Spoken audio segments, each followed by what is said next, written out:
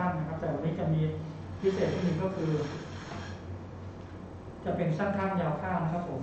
สั้นข้างยาวข้างนะครับผมวิธีการตัดของผมนะครับ ผมจะแบ่งผมเป็นสี่ส่วนนะครับ ผมก็คือเกือบหลังใบหูนะครับเราก็ติดคลิปไว้ก่อนนะครับสองข้างนะครับ แล้วก็ช่วงด้านหลังนะครับ ด้านหลัง เราจะกำหนดความยาวก็คือเอาเป็นช่วงติดท้ายทอยเลยนะครับ แล้วก็ผมจะแบ่งแค่สองชั้นทรงเองนะครับ สองชั้นผมก็คือชั้นแรกผมจะแบ่งประมาณตรงหูเลยนะครับ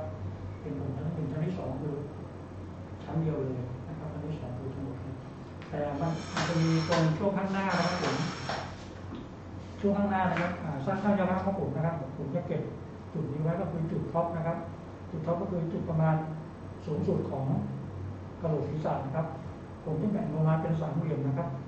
มาถึงตรงช่วง โหนกคิ้วทั้งสองข้างครับแบ่งเป็นรูปสามเหลี่ยมนะครับ เก็บส่วนนี้ไว้ก่อนนะครับ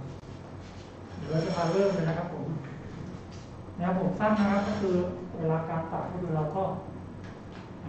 ผมจะกำหนดความยาวก็คือช่วงของด้านหลังนะครับผมจะลักษณะเป็นโค้งเล็กน้อยนะครับผมเดี๋ยวเราจะมาเริ่มเลยนะครับ อันนี้เป็นปุ่มบล็อกอยู่แล้วนะฮะเราจะมาตัดให้สั้นขึ้นนะครับ เพื่อเปลี่ยนแนวให้ดูเปรี้ยวขึ้นดูหนาขึ้นนะครับ แล้วก็ตัด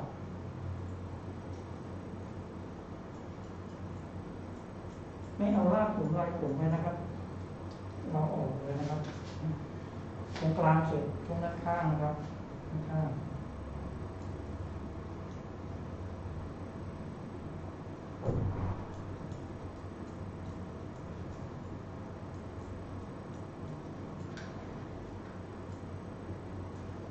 เราก็ตัดให้เป็น guideline ก่อนนะครับคือลักษณะขึ้นก่อนให้มันดูลักษณะโครงการก่อนนะครับดูนะครับฝากกดไลค์กดแชร์ด้วยนะครับผมฝากกดไลค์กดแชร์ด้วยนะครับ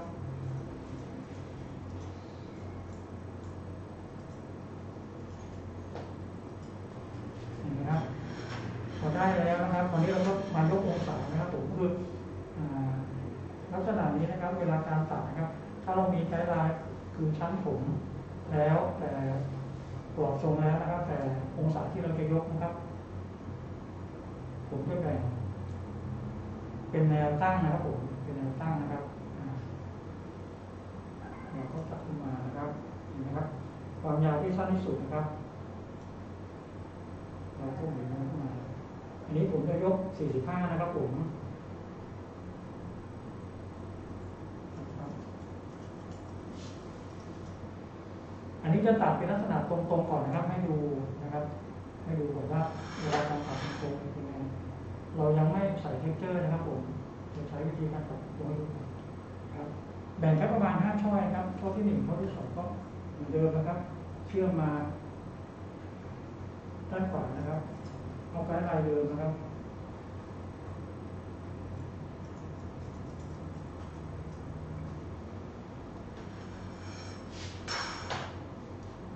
สังเกตดูครับว่าเวลาการตัดนะครับ ผมจะอยู่ในตำแหน่งที่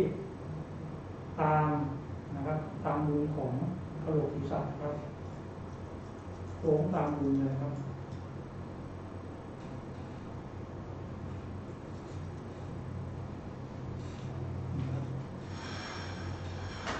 ไปด้านซ้ายนะครับเอาไปลายเดิมนะครับจุดกึ่งกลางนะครับ เหมือนเดิมนะครับ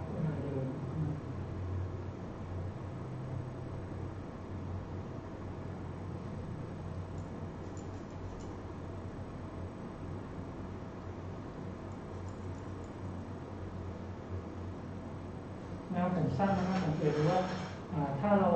ยกต่ำนะครับก็คือสี่ห้าองศาในลักษณะอ่าความหนาหนักของทรงจะเห็นชัดนะครับ คือจะไม่บางมากเกินไปนะครับ เราต้องการความหนาหนักของช่วง ด้านล่างนะครับช่วงของด้านล่างครับเหมือนเดิมนะครับเอียงแรงมาเล็กน้อยนะครับ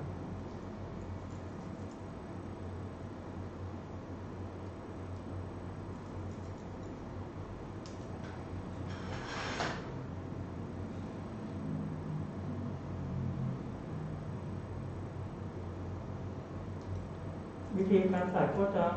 มีหลากหลายนะครับผมมีหลากหลายนะครับ แล้วก็ลองไปประยุกต์ดูนะครับ ลองประยุกต์แล้วไปปรับใช้ดูนะครับเห็นไหมฮะสังเกตดูนะครับก็จะมีความคงมูลแล้วก็ชั้นผมที่จะดูหนาหนักขึ้น ดูไม่บางมากเกินไปนะครับ เสร็จแล้วก็คอเช็คครับก็คือตัดแนวตั้ง เช็คแนวนอนตัดแนวนอนเช็คแนวตั้งนะครับผมเดิมนะครับทางนี้เราจะเช็คแนวนะครับแนวนอนนะครับนอนเช็คนิดหน่อยต้องเก็บใจนะครับ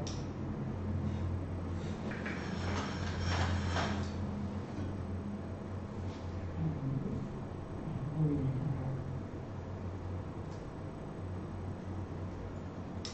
อันนี้ผมจะตัดอ่าเป็นแนวตัดตรงๆให้ดูก่อนนะครับ ยังไม่ยังไม่ลงพิเชอร์นะครับยังไม่ลงรายละเอียดต่างๆนะครับตัดดูเสร็จแล้วนะครับ วิธีการนะครับ ของผมจะง่ายแล้วก็เร็วนะครับพอได้เสร็จแล้วนะครับครั้งที่หนึ่งเนี่ยเราก็ปล่อยหมดเลยนะครับครั้งที่สองนะครับ สัง เกตดูนะครับ ตรงช่วงเกลือนม้านะครับ เราไม่ได้เก็บไว้นะครับเราปล่อยมือนะครับผมเพราะเราจะเอาแนวผมทันที่สองไปเชื่อมต่อได้เลยนะครับ เราจะไล่เป็น90องศานะครับ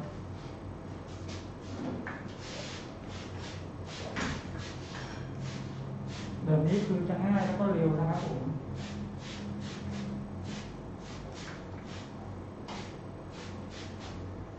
ฝากกดไลค์กดแชร์นะครับฝากติดตามด้วยนะครับ ผมเจอกันได้ทุกวันจันทร์และวันศุกร์นะครับวันมงตรงนะครับ วันจันทร์ก็จันทร์ตู่นะครับ วันศุกร์ก็ผมนะฮะจันทร์หนึ่นะครับ เห็นไหมครับ เหมือนเดิมนะครับ เราก็เอา ฐานที่เราตัดชั้นที่หนึ่งครับ มาเป็นเกณฑ์นะครับนี่เห็นไหมครับ ก็คือชั้นที่หนึ่งแต่ ตอนนที่สองนี้เราจะไล่เป็นเก้าสิบอย่างเดียวนะครับไล่เป็นเก้าสิบอย่างเดียวนะครับ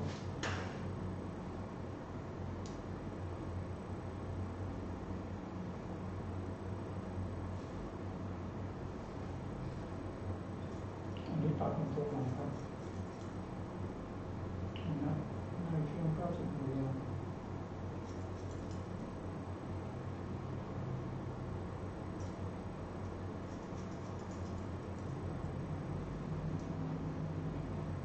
เห็นไหมครับเสร็จแล้วก็เหมือนเดิมครับ แบ่งเป็นแนวคล้ายๆก็คือแบ่งลักษณะเป็นแนวตรงนะครับ โดยเอาไกด์ไลน์ของตรงกลางที่เราตัดนะครับอย่างเนี้ยไก ด์ไลน์เดิมนะครับ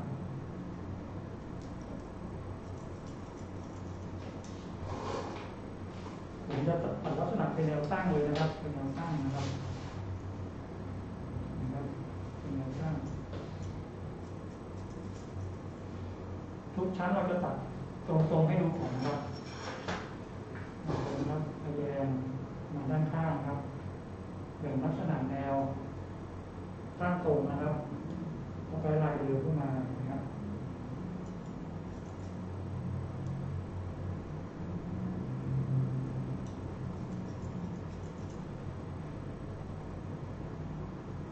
แนว ผมสั้นนะครับสิ่งที่ควรระวังนะครับเวลาตัดนะครับ เราต้องดูนะครับอุปสรรคของเส้นผมนะครับอุปสรรคการตัดผมก็คือผมวนนะครับ ผมผมวนหน้าหน้านะครับบางคนผมย้อนนะครับ เป็นหน้าม้าบางทีไม่สวยบางทีผมวนนะครับ เป็นฝันผมวนหนึ่งสองตรงฝันถึงกลางนะครับ แล้วก็ช่วงได้ฟอยนะครับบางทีผมวนบางทีถ้าไว้ลากไฟหรือไว้ลายผมเนี่ยมันอาจจะกระโดดหรือดีดดีดได้นะครับ ต้องระวังด้วยนะครับ ต้องดูก่อนทุกครั้งนะครับนะโอเคดู ต้องดูสภาพเส้นผมด้วยนะครับ ผมเส้นใหญ่ ผมหนา ผมเส้นเล็ก ปริมาณเนื้อผมนะครับสังเกตดูด้วยแล้วผมทราบถ้าเราตัดให้สวยก็คือต้องดูรายละเอียดต่างๆนะครับอย่างนี้อย่างเดียวนะครับ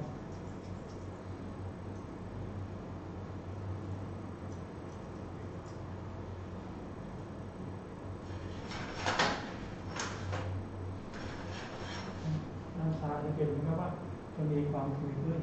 มีความทุยครับว่าระดับที่ชัดเจนขึ้นเหมือนเดิมนะครับ มาด้านซ้ายอ่า ใช้ลายเดิมนะครับ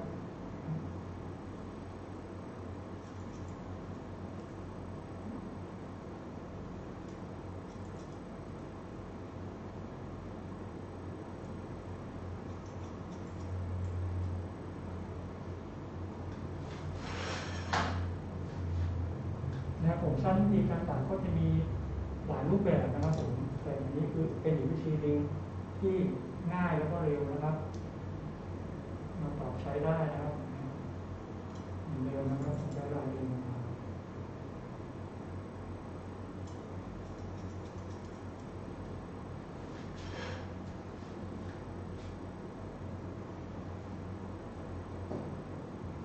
อันนี้เราจะเก็บลักษณะ อ่าเก้าสิบนะครับซ้ำที่สองนะครับตั้ง90อย่างเดียวนะครับ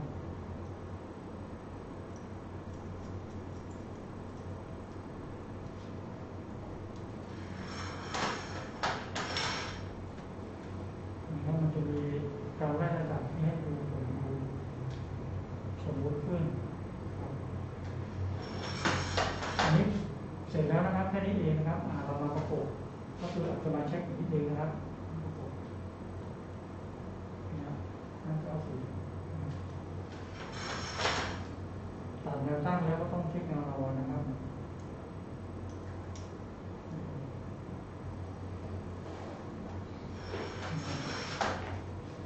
อย่างนี้ยเสร็จแล้วนะครับ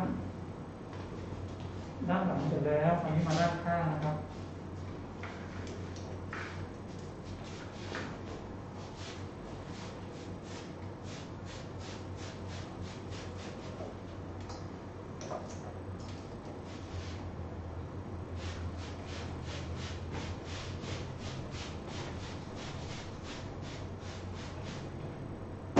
อันนี้ก็คือเวลาตัดนะ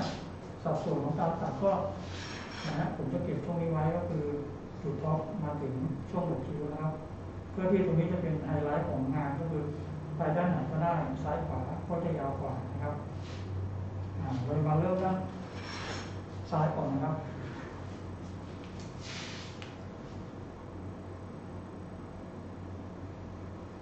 ช่วงตอนนะครับผมจะดู ผมจะแบ่งลักษณะเป็นรูปแนวตรงนะครับ พอถึงหลังใบหูเสร็จแล้วก็จะแบ่งลักษณะเป็นรูปโค้งมนเพื่อที่จะเชื่อมต่อ เช่วงต่อช่วงด้านหลังนะครับด้านหลังด้านข้างครับ อันนี้ผมจะใช้วิธีการตัดแนวประกบทั้ง90 เลยนะครับ ถึงแค่หลังไม่หูนะครับ ความยาวก็ประมาณ 2 นิ้วนะครับ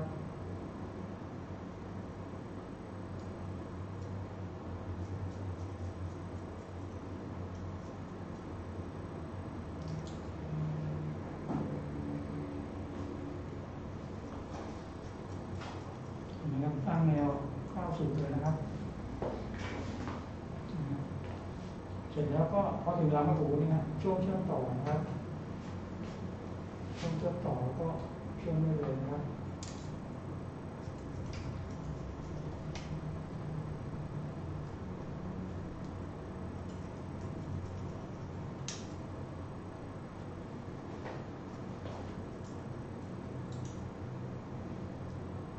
นะครับพอเสร็จแล้วนะครับ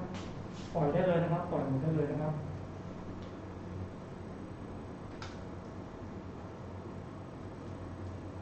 ปล่อยหมดได้เลยแต่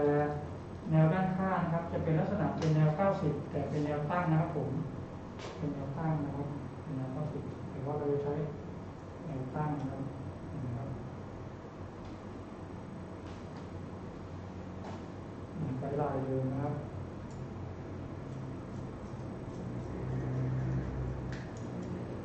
อ่าอีกชั้นหนึ่งนะครับข้างหน้า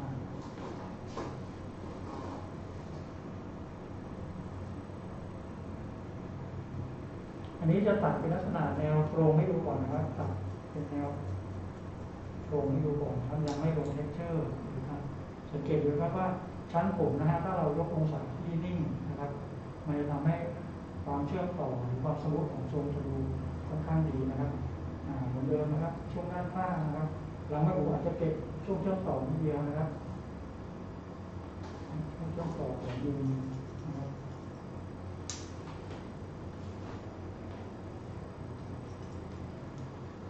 ฝากกดไลค์กดแชร์นะครับติดตามด้วยนะครับสังเกตดูนะครับ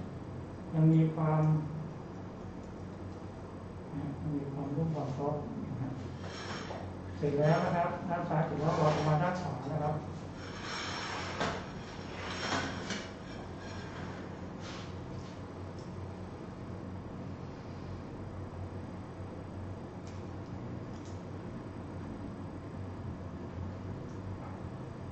มือนเดิมนะครับ ประมาณสองนิ้วนะครับจนถึงครับช่วงหูนะครับ ผมจะดึงลักษณะแนว 90 แนวประกบนะครับ ผมคือแนวนอนนะครับแนวนอนอย่างเงี้ยหลังไม่ดีนะครับดึง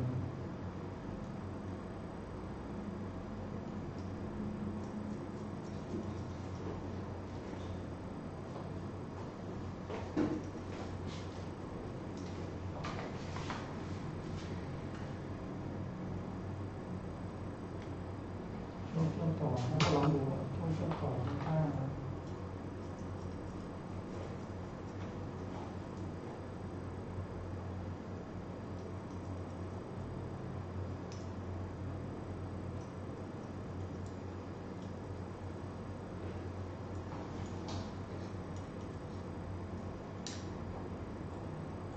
นะสังเกตดูนะครับ เสร็จแล้วก็นะครับปล่อยได้เลยนะครับชั้นที่สองก็จะใช้เป็นลักษณะเป็นแนวนะครับ เป็นแนวตั้งเลยนะครับเข้าสิดข้านะครับ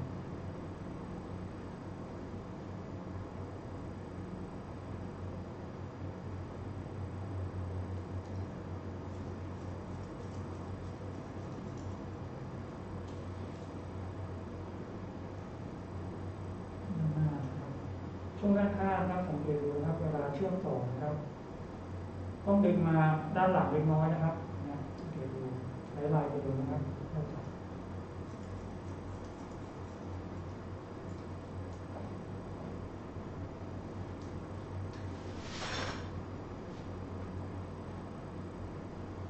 เชื่อมต่อช่วงด้านข้างนะครับ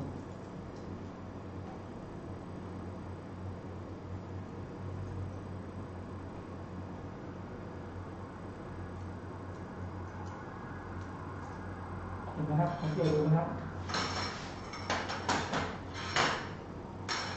เห็นไหมสังเกตดูนะครับก็จะเสร็จแล้วนะครับ ตอนนี้เราอาจจะมาเช็คนะครับผมเช็ครายละเอียดต่างๆนะครับเห็นไหมฮะอันนี้จะเป็นลักษณะแนวตั้งนะครับ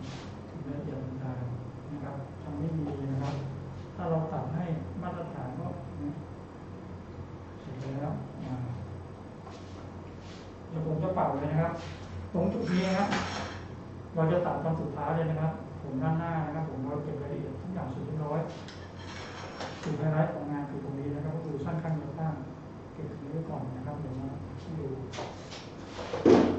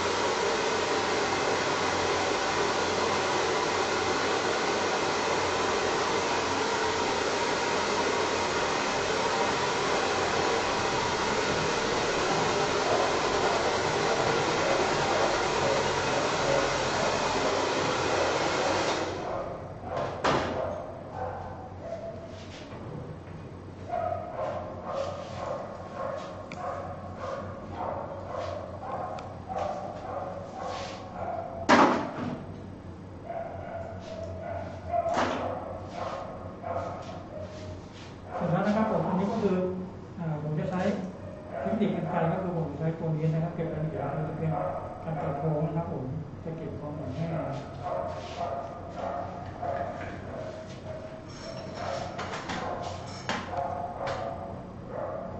สังเกตดูนะครับอาจจะมีถ้ามีปอดหรือมีความหนาหนักอยู่เล็กน้อยนะครับผมสังเกตดูนะต้องดูว่าแต่ชั้นของเนื้อองศาในการยกนะครับ มันจะมีความไล่ระดับนะครับผมมีความไล่ระดับแต่มันมีความหนาหนักที่เป็นข้อนอยู่แล้วทีนี้เราก็ต้องมาติดนะครับให้มันดู ซอฟต์ดูดูดูดูขึ้นนะอ่ามาถึงทางนี้ก่อนนะครับสังเกตดูนะครับส่วนมากถ้าเป็นลักษณะนี้นะครับเราก็เก็บชั้นบนขึ้นมาก่อนนะครับโดยโคไว้นะครับแล้วก็ไปผมจะเก็บช่วงด้านข้างก่อนนะครับ แล้วก็ช่วงนะครับ แบ่งเป็นแค่สามชั้นเองนะครับชั้นบนสุดแล้วชั้นที่สองนะครับ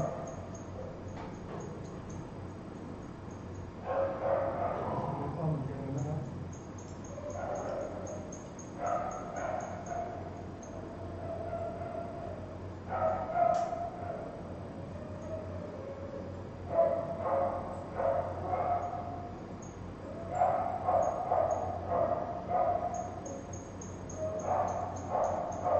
ขอบคุณนะครับที่เอ่อติดตามชมนะครับผม แนะนำได้นะครับ อยากดูทรงไหนนะครับอยากดูทรงไหนดูเข้ามาทักทายกันได้นะครับอืม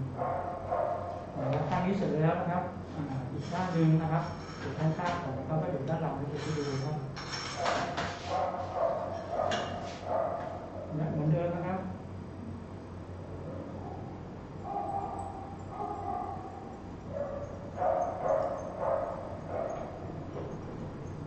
ชั้นที่หนึ่งนะครับทุกครั้งเวลาตัดนะครับ ถ้าเป็นแนวผมแห้งนะครับ จะต้องมีชั้นผมมีขอบทุกครั้งนะครับเวลาตัดครับ เราก็ต้องเก็บนะครับไล่ระดับแชทเข้าไปนะครับถึงวันที่ดิ้ง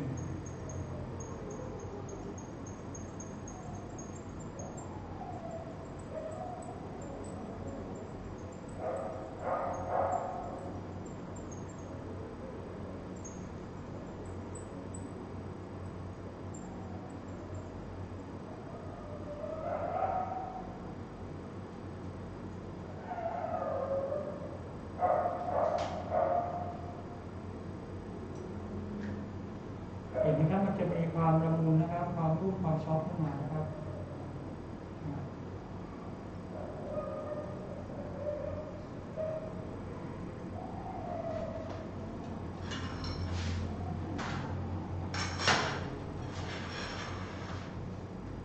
อ่าด้านหลังนะครับ อ่านี่แบบเป็นชั้นๆนะครับเหมือนเดิมนะครับไวิ่งลักษณะนี้นะครับ ช่วงขอบผมชั้นผมจะเนียนเลยนะครับถ้าตัดลักษณะนี้นะครับบางทีถ้ามีของมีขั้นนะครับ บางท่านก็ถนัดฟันปลาก็ใช้ได้นะครับ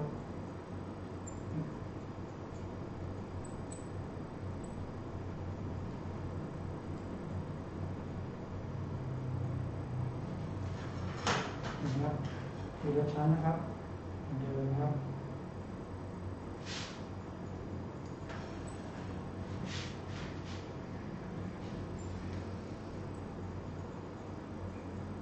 แบบนี้คือจะ สับได้ลึกนะครับ เข้าไปลึกก็ได้นะครับ เข้าไปลึกก็ได้นะครับก้ารไกลก็เข้าไปลึกนะครับการไกลโค้งก็จะทำให้การเก็บรายละเอียดต่างๆ ก็จะดูสมบูรณ์ขึ้นนะครับ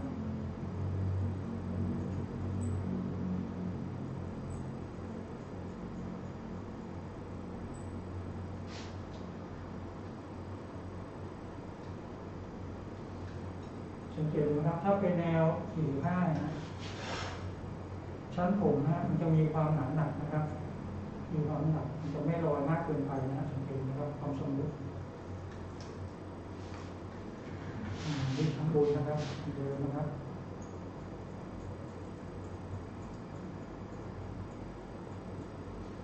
ผมใช้วิธีไว้เข้าไปเลยนะครับ เพื่อลดความหนาหนักขอบเข็มนะครับ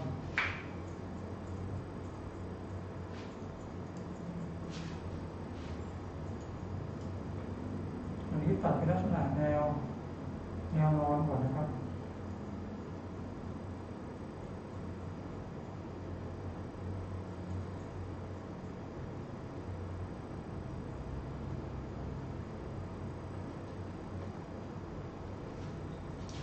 อ่าเสร็จแล้วก็ผมใช้วิธีแนวตั้งนะครับแนวตั้งคือดินจะเป็นเอ่อโหมดของ ฟิกซิคัทนะครับผมก็คือแนวผมสั้นนะครับ แนวผมสั้นๆเลยนะครับแนวผมสั้นๆ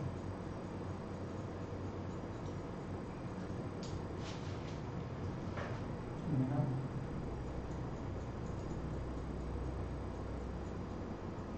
เทคนิคก็จะมีหลากหลายนะครับเทคนิคการก็จะมีหลากหลายรูปแบบนะครับจะประยุกต์ใช้ได้นะครับเห็น ไหมครับอันนี้ก็คือ มันจะเท่ากันทั้งสองข้างนะครับ แต่ตรงนี้คืออาจุดที่เราเก็บไว้ก่อนนะครับดูนะครับ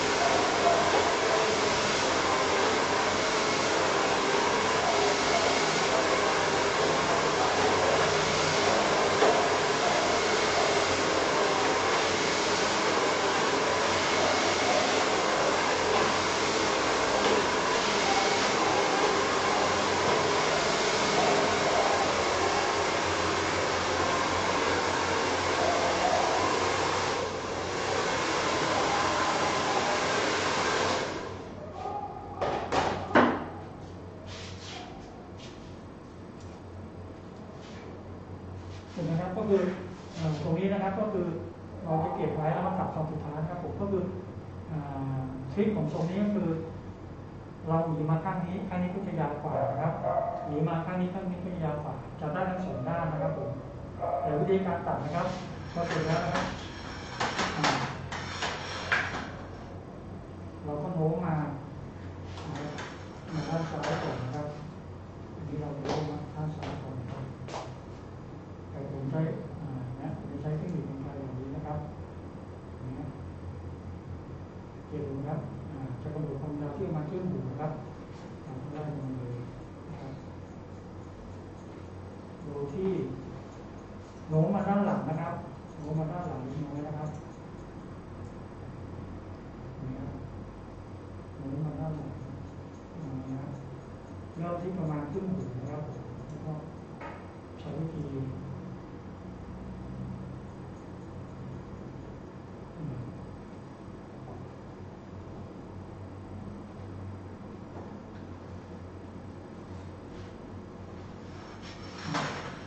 สังเกตุนะครับข้างนี้ก็จะดูข้างนี้ก็จะดู ยาวกว่านะครับ แต่ทริคของทรงนี้คือด้านนี้นะครับผมด้านนี้ พอได้ด้านนี้เสร็จแล้วนะครับ มาด้านขวานะครับ เหมือนเดิมนะครับดึงมาดึงมาเหมือนเดิมนะครับขึ้นหูนะครับด้านหลัง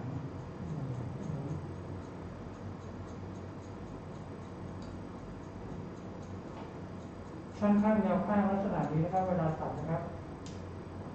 เราสามารถกำหนด ความยาวได้นะครับว่าเราจะเอประมาณแค่ไหน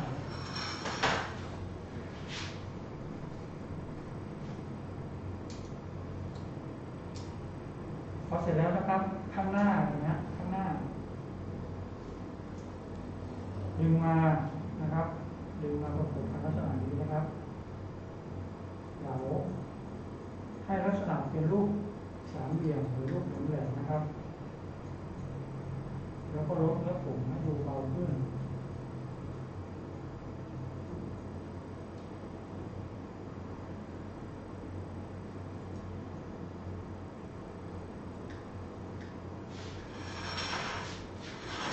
สังเกตดูนะครับ ก็คือที่ตรงตัวนี้คือถ้ามาด้านนี้เห็นไหมถ้ามาข้างนี้ ข้างนี้ก็จะยาวกว่า ก็คือด้านนี้จะสั้นด้านนี้จะยาวนะครับ อ่าถ้ามาด้านนี้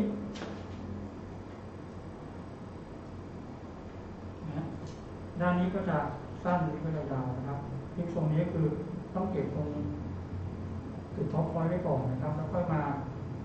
กำหนดหรือมาเก็บรายละเอียดทีหลังนะครับ ถึงแล้วก็เก็บแค่อืม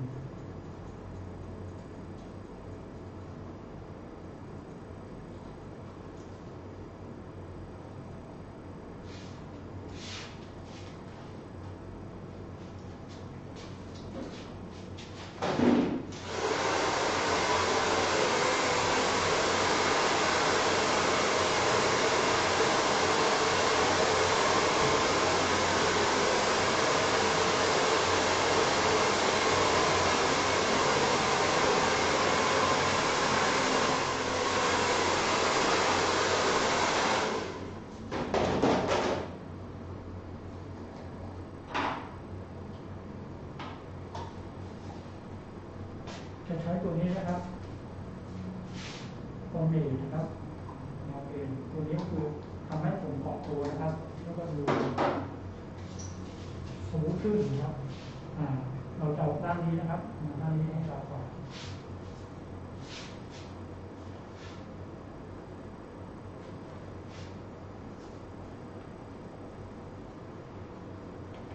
สังเกตดูนะ ครับว่าอ่าทรงลักษณะนี้นะครับ ลูกเล่นต่างๆนะครับ เราสามารถไปประยุกต์ใช้ได้นะครับประยุกต์ใช้ได้แล้วก็ผสมผสานเข้าไปนะครับ ให้มีความเคลื่อนไหวความมูด